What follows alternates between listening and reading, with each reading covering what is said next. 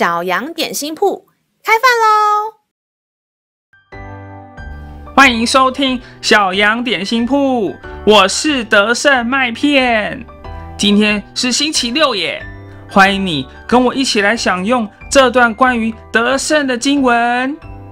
今天的经文是在哥林多前书十六章十三节，你们务要警醒。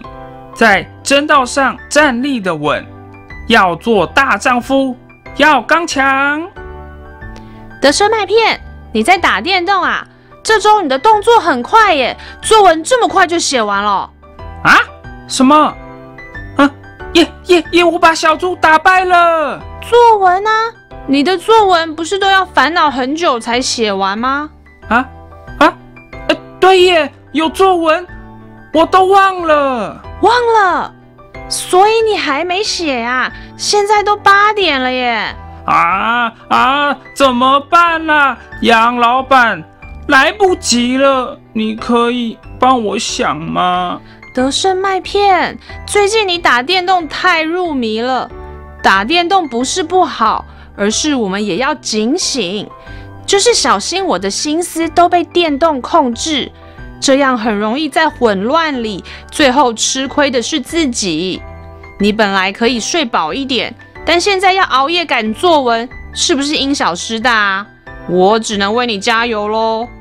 那怎么办啦，杨老板？嗯，你就写一篇都是电动惹的祸，如何？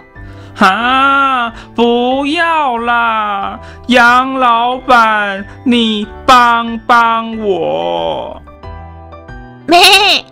杨老板悄悄话：亲爱的小朋友，圣经中说要警醒，我们才能站立的稳，是因为生活中有许多次要的事，影响我们的原本计划，变得混乱没秩序。当我们能够学习把重要、优先的事先完成，就会发现时间更能有效的运用。不单是课业上，玩的时间也会变多。当然，这不是一下就能做到，而是要不断练习的，也需要靠上帝智慧的话语帮助我们做出最好的选择哦。让我们再一起来背诵这段经文吧，在哥林多前书。十六章十三节，你们务要警醒，在正道上站立的稳，要做大丈夫，要刚强。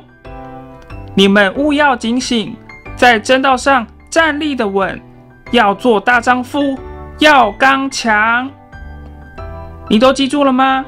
让我们一起来用这段经文来祷告。亲爱的天父，帮助我。在每一个大小事上都能警醒，练习节制。当我有困难做决定的时候，我可以祈求你圣灵提醒我什么是最好的选择，并且胜过自己的懒惰和不喜欢，完成重要的事情。感谢祷告是奉主的名，阿门。